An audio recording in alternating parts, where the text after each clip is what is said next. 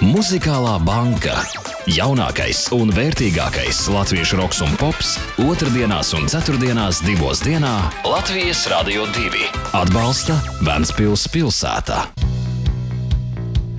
Prāta vētra un ēdienas dārsts uzsāk muzikālo banku šajā otrdienā. Esiet sveicināti Latvijas Rādio 2 klausītāji! Kaspars Mauriņš ir šeit, un uh, pie manis ir, nu, jāsaka, prāta vētra. Jā, labdien, labdien. Prāta vētra, uh, Māra Mihelsona personā un arī Aija Auškāpa ir šeit. Nu, prāta vētras, uh, nu, es Neredzamā aizbērga daļa, tā nu, lielā. Jā, gribējās pateikt, vienkārši menedžeri, bet tad es domāju, ka tas būtu pa, pa maz teikts, vai tā drīkst. Tā. Nu, tu vari divreiz pateikt, menedžeri. Menedžeri, menedžeri. galvenā menedžera. Nē, var dažādi. Var, uh, Par direktori, var uz jūs, uh, var, nu kā, kā Aija. ērtāk. Var aija, Aija, vai, vai es... Prāta vētras, aija. jā, tā, jā. Nu, skaidrs, jā. Labi, nu gan jau kaut kā mēs te parunāsimies nākamo pusstundu. Sākšu ar to, ka nu, mans veiciens ir ar tūris, tūris startēšanu un arī ar to, kas jums tur platīna disks, jā, ir vai Jā, tas mums bija pašiem. vairāk kā 8000 ir nopirkti jau. Tas bija liels pārsteigums mums pēc koncerta, kurš bija Jāgavā. Nu pat, Mhm. Bija tāda pasēdēšana ar dažiem žurnālistiem, un pēkšņi nāk aija. Ah, nāk rokās pār- kaut kas ir? Rokās ir tāda. Un Tāds rāmītis, un tad jau var nojaust, ka tas rāmītis ir tāds līdzīgs, kāds jau ir bijis kaut kur par citām platēm. un Tad dāja griež otrādi to rāmīti, un tur Prāmītis. ir uzraksts. Jā, tur ir, tur ir disks, tur ir pla- uzraksts platīna. Yes. Platīna disks. Disks, platīnas. Jā, nu, albums ir labi ieskrējies, labi aizgājis. Nu, to arī varēja redzēt koncertos, ka cilvēki ļoti labi dzied līdzi arī Ir iemācījušies dziesmām. jau, jau, jau tos vārdus. Vispār, kur jūs liekat tos prāmīšus, rāmīšus, kur viņi aizceļo pēc tam, kaut kur ir jums kaut kāda telpa, vai tad es vienmēr domājis, kur tās balvas visas tiek Renāram, vai jūs dalāt, vai Nē, kaut nu, viena telpa. tajā- šajā gadījumā katram ir savs. Katram Jā, ir savs un- ar savu un- vārdu. uzvārdu. Un menedžmentam, Ā, pat ir, tā, ka- un menedžmentam ir atsevišķs, un to tieši šodien izvēlējos vietu pie sienas birojā un atstāju blakus vēl vietu platī, eh, dubultu platīnu. Ā, jau Un tā- paredzēts Jā, jau jā, jā, jo tur ir jādomā uz priekšu, skaidrs, ka ar to nebeigsies. Nu, es personīgi es, es aizvedu un smuki saliku tādā kā, kaudzītē. Nu, Mihelsons. Nu, man nav Lauka mājās netālu no kamīna. Mājās netālu no kamīna stāv smukā kaudzītē. Var pašķirt, tā kā plates pāršķirt. Var. Nu, man nav tādas sienas pagaidām, jeb man nav tie dībeļi. Viņš gatavojās. Viņš jau baigi Bet- smagais ir. Jā, smags, bet, ah, bet tev taču būs tā pirts. Tur tad var būt. Klau, klau, klau. Aizrunājāmies te par balvām. Mums, mums jāparunā par aktuālo, par koncertu. Tikko bija Jelgavā, nu, mājās koncerts. Jā, Uh, Tad nu, nu, dažas dienas ir pagājušas, nu, tās emocijas ir bijušas nosēdušās. Nu, kā bija? Nu, prasīšu Nu, tas, Māri. jā, tas bija kaut kas, nu, protams, kad negaidīt. Vienmēr, ne, nu, tu it kā zini, cik tie ļaudis būs. Jo Aija mums Biļetes, savukārt, eh, mm. viņa, caur viņas eh, datoru, caur viņas rokām iet visas biļetes un biļešu tirniecība un Mhm. organizēšana. Bet nu, teorētiski visam bija jāsanāk labi. Kas arī praksē pēc tam arī tā notika. Mm -hmm. Bet nu, tu jau nezini, nu, tu, tu, tu, tu, esi, tu esi zini savu daļu, tu esi samēģinājis, bet tur ir tehniskās daļas, vēl tur ir gaisma daļa, video daļa. Dažni dažādi vēl etapi, kas uh, savācās vienā koncertā kopā. Nu, tad visi it kā savu daļu zina, bet tā kopā jau to lāga nav izmēģinājuši. Nu, tad arī tā jāgava. Nu, un tad nāk šis koncerta moments, un, un vienmēr ir stress par to, kas, kā tas viss notiks, un vai gludi vai, vai tehniski viss norisināsies. Bet šis bija pirmais koncerts, man liekas, mūsu tādā, eh, nu, tādā koncerta tūra vēsturē. Pirmais koncerts, kurš bija nu, tehniski nevainojams, man liekas, no A līdz Z. Bija lieliski, bija nu, ļoti labas emocijas, bija milzu daudz ļaužu un, un patīkams laiks. Un tiešām ļoti sakāpināta, patīkama emocija. Es nebiju uz Jālgavas koncertu, bet es pamodos uh, svētdienā un skaidrs, ka uzreiz uh, apmeklēju visādus sociālos tīklus. Un visur, kur vien uh, metu aci, visur priekšā bija prāta vētra. Un, un, uh, Tas, ko es redzēju, ir tas, ka nu, daudz sajūsminājās par šo tiešām lielo un tādu nu, skatuvi, un, un vispār, ka koncerts ir bijis labs. Tāpēc, Aijai, es vēlos uzjautāt, uh, Nu, cik grandios tas viss ir, cik cilvēki vispār strādā. Un es saprotu, tur kāda nedēļa tiek būvēta tā skatuve. Un... Jā, mēs uh, sākām pirmdienā, Jāgavā iebraucām. Un, uh, Kopā uh, realizācijā, un tā precīzi mēs neesam izskaitījuši, bet apmēram 300 cilvēki ir iesaistīti visa projekta realizācijā. Um, nu, no tiem tehniskajiem uh, vērienīguma uh, datiem, tad varbūt uh, tā, uh, interesanti ir tas, ka tie LED ekrāni ir 420 km platībā, kāds līdz šim Latvijā nekur nekad nav mm -hmm. ticis uzbūvēts tik liels LED ekrāns. Uh, skatuve ir 23 metrus augsta, kas, uh, kas arī ir uh, nopietns, nopietns augstums. Nu, jā. Un kā man pastāstīja tehniskais direktors, lai es obligāti pasakotu, ja man kāds jautā, kā kābeļi, kas tiek izmantoti Jā, jā, nu. šajā tūrē, toties ir uz pusi mazāk nekā pagājušajā tūrē, pateicoties tam, ka tehnoloģijas ļoti ir gājušas uz priekšu, mēs esam ietaupījuši kabeļu garumu. Oh, cik labi tas skan. Es domāju, ka arī AIE ir nu, apmierināta ar to tehnisko pusi. Tur arī viss ir. Jā, kārtībā. man nekāda sūdzība nebija. Man viss ir labi. Mm, Bet runājot par to māksliniecisko. Es pareizi sapratu, ka kaut kādas trīs stundas ir uh, vispār koncerts, vai cik paši jūs Uh, esat uz skatuves? Man liekas, bija ļoti precīzi. Mūsu nariņš bija uzņēmis laiku 2,27. Jā, tieši 2 tā. stundas, Mhm. 27 minūtes. Tas ir no tā brīža, kad mēs Tā ir prāta uzkāpjam. vētra. Tā ir prāta vētras daļa, bet tur jau ir arī vēl, uh, mūsu īpašo viesu daļa, kas ir karnevāla jūta daļa. Mm. Ja iesildītājs Nu, jā, iesildītāji, jā, nu, tā kā Cik var viņu tā uzstāšanās aptuveni? Nu, tā, 40 minūtes. Kaut kā tā. spēlē. Nu, Runājot par karnevālu un īpašajiem viesiem, uh, ir zināms fakts, ka arī mūsu valsts prezidents Raimons Vējonis apmeklēja, apmeklēja koncertu Jālgavā. Jā. Un, uh, es kaut kur dzirdēju tādu inf- informāciju, ka, uh, ka, ka Raimons Vējonis esot teicis, ka nu, viņš arī īpaši gribot dzirdēt uh, nu, jaunos karnevālu jūs. Un, Un tad es, es dzirdēju tādu informāciju, ka karnevālu jūs esat dabūjuši tā kā bišķi iepauzēt, jo, jo vējoņa kungs vēl nesot bijis tur ieradies. Tā ir tā ir taisnība. Nē, nu, tas viss bija absolūti dabīgi, jo nu, tas, tas, tā situācija tiešām tāda ir arī sanāca. jo Mēs kāpām, nu, burtiski tūlīt, tūlīt kāpām uz skatuves, lai pieteiktu. Mēs tā darām parasti pirms koncertiem, pirms iesildītājiem, pirms viesiem. Mēs apsveicinamies ar publiku, paši vētra un pasaka, kas tad, kas tad būs tie, kas jūs, ko jūs tūlīt dzirdēsiet. Un mēs kāpjam uz skatuves, un tajā brīdī brauc iekšā smūgs melns džipiņš. Un tāpēc arī nu, skaidrs, ka tas bija pats prezidents. un Prezidents Tad mums jāpagaida. bija jāpagaida, un, un jāapsveicinās, un jāparunājās, un jānobildējās, un tā jāiepazīstās gal galā. un Viņš absolūti jauks cilvēks. Un, un tad eh, jā, tas mazliet tā kā ievilkās. Un, Un tad mēs jau gaidījām, kamēr Ingūns izkāpa no, no ģērbtuves, lai sasveicinātos Jā. ar prezidentu. Jo prezidents Vidums, īpaši, jā, jā. viņš uh, teica, kur tad mans novadnieks, un tad mēs jā, viņi esot beiguši vienu skolu. Ļoti jauki. Ļoti jauki. Ļoti, ļoti cilvēcīga, ļoti patīkama saskarsme. Un, Nu, jā, un tie, un tie īpašie viesi uz skatuves - Dons, Kašuks. Par to neko nedrīkst teikt. nē, nē, nu, Nu, tas to jau visi zina. Nu, tas jau vairs nav nu, varbūt pār- kāds vēl nezināja. Bet, nu, labi, Nu, tagad viss. Tagad jau zina, Taču no visa zina. Bet uh, ne, es, es to tā kā nolūku jautāju, jo man ir, man ir plāns apmeklēt Valmieras koncertu. Un, uh, nu, nu, es tā gribu zināt, vai tu arī būsi uh, minētie mākslinieki. nu, es ļoti gribētu. Bet pagaidiet, vispirms jānoskaidro, ja būs, tad tu nāksi, vai ja būs, tad tu nenāksi. Nē, es nāku abos gadījumos. okay. Uh, vienkārši. Jā, nu, tas mums tāda nu, nu, gandrīz spontāna ideja, kas nedēļa pirms koncerta radās, un mēs uzrunājām Donu. Dons mums ir liels, liels draugs, un viņš nu, bija ļoti ar mieru. un Tad mēs izdomājām, kurā dziesmā un kuru, kurā savā dziesmā varētu savienot kādu ar viņu dziesmām. Nu, tas ļoti labi izdevās, un man liekas, ka arī publikai tīri labi. Var, varētu būt. Varētu būt. Es domāju, ka publika gaida arī, kad jums būs kāda kopēja dziesma. Tas ir reāli. Vai viss. varbūt jāprasa menedžmentam, vai ka menedžments jau kaut ko berzē rokas un domā, ka varētu tagad kaut ko uztaisīt. nu, tur mums savukārt ar Dona menedžmentu jāparunā. Tad tad? paskatīsimies. Kurš ir arī pats Dons? Cik Nē, atklāti. nu, jā, nu, nē, nu, tīri no cilvēciskā, protams, ka tas viss ir reāli. Jo, nu, nu, tas, Man taču tā ļoti patīk cilvēku, ļoti. Ļaužu draugu, ļoti laba paziņu, sadarbība mākslinieckā ziņā vienmēr ir ļoti Tad interesanti. sanāk, ka mums ir jāgaida. Jā, mēs Nu, gaidām, varam- mēs arī gaidām. Visi Gaidām gaida. Esam sagaidījuši arī uh, jaunu singlu. Uh, Īsi pirms uh, koncertiem no jūsu albuma Septiņas soļus vajag gaisa, to gabals. Par ko tā dziesma īsti ir? Ai, Aija.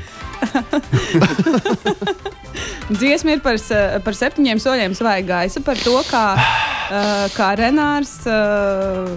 Nē, ne gluži par to, bet kāpēc par to? par to izstāstīs Mihelsons. Nē, nu, ko es jums varu izstāstīt? Nu, tā ir. Nu, var saprast, da, da, dažni dažādi šo frāzi, septiņas soļus vajag gaist. Tie ir patiešām.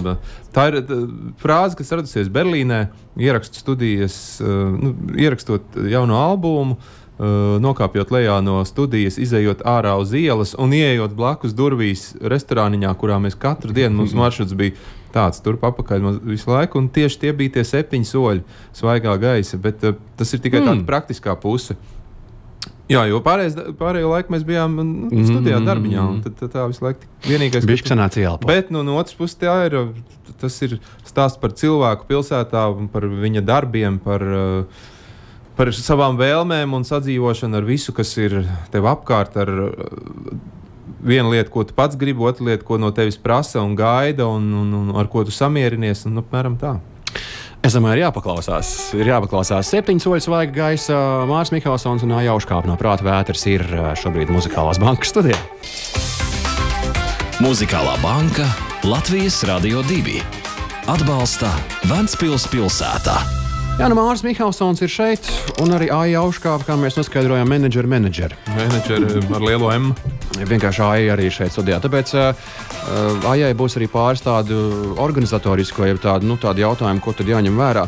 Uh, tas būs pēc, pēc maz brītiņa, bet uh, par vasaru gribējās parunāt ar jums. Mums ir tāda rubrika vasaras kokteilis ar nosaukumu. Un, nu, kā jums šķiet, ko tad, uh, ko tad jāliek iekšā ir tajā vasaras kokteilī? Nu, Ko tajā vasarā vajadzētu izdarīt, lai tā vasara būtu tāda, nu, oh, vasara bija vasara. Māri. Nu, es ierosinātu ar atvaļinājumu sākt. Liekam, tajā ka vajadzētu tā kā obligāti. Nu, tas jau kā. Nu, savādāk, nu, grūti jau pa sestdienas vēdienu, man liekas, vasaru izbaudīt. Nu, cilvēkam, kurš ikdienā varbūt ir uh, telpā. No 9 līdz 5. Mums tāds vieglāks režīms varbūt reizēm ir. Mums mm -hmm. beidzās koncerts, tad mēs atkal, gan vai tā ir pirmdiena, vai tā ir ceturtdiena, tad tā mm -hmm. daudz maz brīvs varbūt. Bet... Labi, atvaļinājums. Jā. Nu. Uh, tas ir viss. Jā, nē, nē, nē, no atvaļinājums.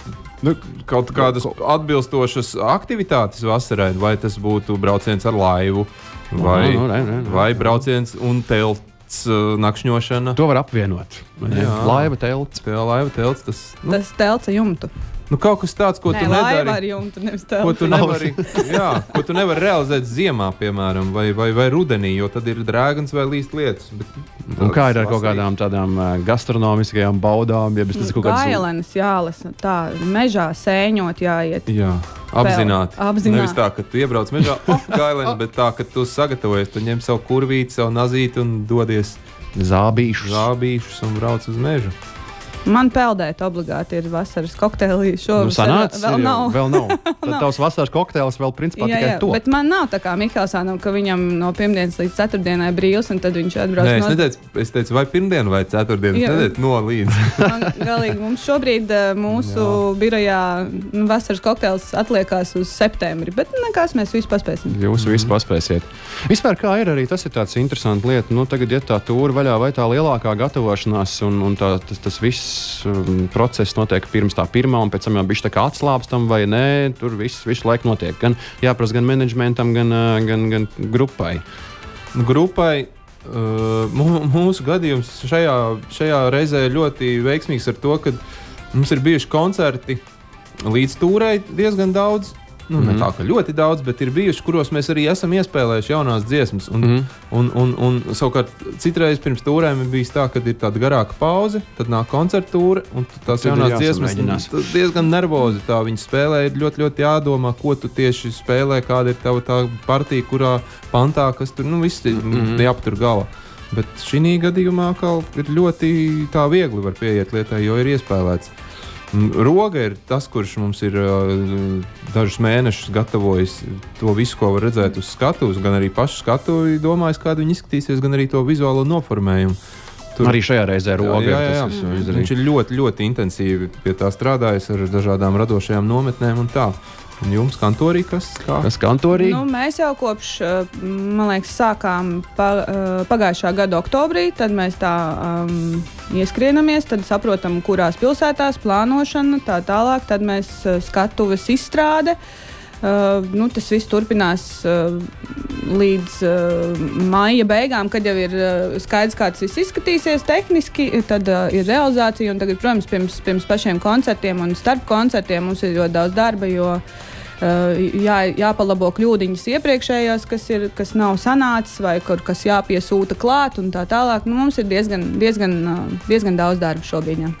Jo vēl jau Latvijas koncertiem jūs arī pārzemē vēl tur paspējat pabraukāt kaut kā pa vidu. Es skatījos to tūri. Tā, tā arī ir nu, tos koncertus. Sanāk, kad uh, par Latvijas koncertiem mēs arī izbrauksim uzspēlēt ne Latvijas koncertus. Kas mums pašiem ļoti patīk, jo tad tu nedabūji to atslābuma brīdi. Nu, ta, jo, jo nu, no viena koncerta līdz no viena Latvijas koncerta līdz teiksim, citam, kas būs Vēncpils līdz Valmierai, tur tādas divas mm -hmm. nedēļas, apmēram pauze. Jā, jā. Tajās divās nedēļās tu vari nedaudz tā drusku tā kā iemikt vai uh, višķīt ierūsēt. Bet, Bet tad ir tie vēl papildus koncerti, un tu esi nemitīgā tādā procesā. Un, Muzikālā ritenī. To arī var ļoti labi just pēc tam uz skatuves, kad vai nu tu esi nedrošs, ja tev ir bijusi pauze, jeb šos tu esi ļoti pārliecinošs un ļoti publikai baudāms, jo mm, tu mhm. esi visu laiku Mierīgs. procesā. Mierīgs. Tas raidījums mums iet uz beigām. 31. jūlijas, tad Ventspils, 15. augusts Valmiera, 29. augusts noslēguma koncerts būs arī Rīgā. Ai, es uzjautāšu tev, nu, kaut kādas tās lietas, nu, ko, ko tiem apmeklētājiem vajadzētu ņemt vērā. Pirmkārt, jau vai vēl ir biļetes, un, un vispār cik daudz cilvēku apmēram būs nākamajos uh, koncertos. Nu, jā. Tā biļetes vēl ir. Jāņem vērā tas, ka mēs ejam uz rekordu. Jāgavā jau mums bija rekords mm. 23. Um, plānojam, ka Vēnspīlī varētu būt ap 12, kas arī būs lielākais mūsu apmeklētājs skaits Vēnspils koncertos. Uh, Uh, Valmiera vēl ir atvērta pozīcija, vēl varam pārspēt paši sevi un, un, un Jaugavu. Uh, arī Rīgā sagaidām lielu cilvēku skaitu. Domāju, ka vairāk kā 30 tūkstošus. Uh, Eh, kas jāņem vērā eh, vēl? Eh, jābrauc ar velosipēdu. Mums ir speciāls apsargāts velo novietnes, lai mēs varētu mm -hmm. atslogotu. Visās pilsētās? Jā, visās pilsētās. Visās trijās vēl atlikušās Ventspils, Valmiera, Rīga mm -hmm, ar, kā... ar ergo. Ergo apdrošinātas velo novietnes var droši atstāt. Mm. Būs arī mm pilsētas parūpējušās par autostāvvietām pietiekamā daudzumā.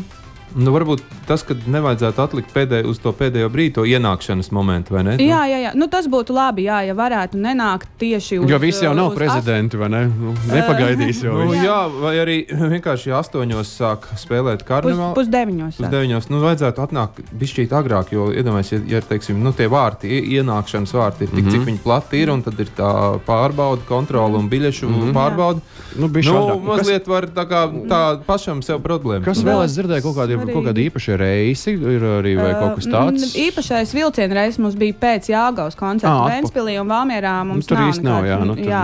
Bet kas ir, ko es gribētu arī uh, lūgt tos, kam ir uh, fanu zonas biļetes, jā. uh, droši iet, ir jāiet līdz pašai skatuvei, un tad vai nu pa labi vai pa kreisi var ir ieeja fanu zonā. Jo tad, ja viņi nāk mazliet vēlāk, tad tie cilvēki jau aizņem vietas skatuves priekšā, un tad liekas, ka vairs tur nevar tikt, bet droši vajag iet un, un, un Uh, tur būs arī norādes uz ekrāniem mm -hmm. ar būtiņām, kur jāiet, bet uh, uz fanu zonu. Un mēs esam. Vienā sakot, ja tev ir fanu zonas biļete, tad nekautrējies un tu, mm -hmm. tur, tur, tur, jā, tur tiks iekšā. Un, jā, nav variantu. Fanu zonas biļetes vēl ir pieejamas, jo mēs uh, um, praktiskajā sadaļā.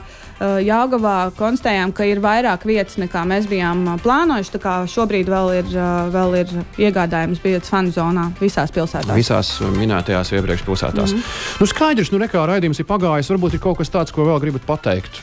Kaut ko, ko es nevienu, ne, ne, varbūt pasveicināt pārējos, jo, kā zināms, tur viss pārējie darbos. Renārs, kur ir Valmi, uh, Liepājā? Jā, Renārs šobrīd ir Liepājā, cerams, klausās. Čau, Renār. Čau, Renār. Viņš gatavo uh, varbūt jau Ventspils tādu kā ceļu, kaut ko attīru no Liepājas Ventspils. Tur būtiski. Uh, roga, roga droši vien ir kaut kur tehniskajās sapulcēs. Es viņš gan teica, ka viņš ar visiem cehiem esot jau sazinājies, ah. visi strādājot, un es pieņēmu, ka šodien viņš ir angurē, bet rīt jums ir mēģinājums.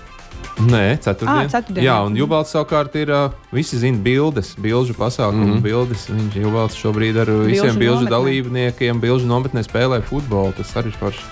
Nu, es gribētu teikt, ka baudiet vasaru ar mums vai bez mums, labāk Jā. ar mums. labāk ar bez mācieties dziesmu vārdus, nāciet uz koncertiem. Un, un, un, jo ja augusts vienmēr solās būt tas visdrošāk siltais un tāds pro, prognozējamākais mēnesis parasti mm -hmm. arī nelīst. Un... Runājot par dziesmu vārdiem, ir iznākusi arī nošu grāmata. Jā, jā, jā. jā. Vai ne? Jā, baigi interesanti. Tur rakstīts 50 labākās prāta vētras dziesmas. Jums ir ja tikai tu- 42. Bet, jā. ne, bet ja tu ap, apgriez otrādi, tur ir 93. Man liekas, Op, 90, op, kaut kas tāds, vai, jā, nu, saturā. vairāk kā 90. Jā. Tas nozīmē, ka 50 labākās un vēl. Un vēl 43. vēl tie- Nu, mēs nevarējām izvēlēties. Bija tik daudz labu Jā. meitenēm, un Gunteram Račam viss patika.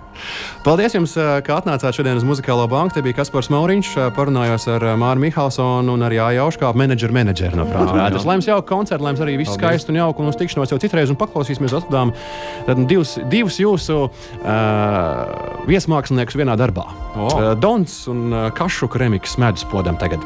Čau! Oh, wow. Čau!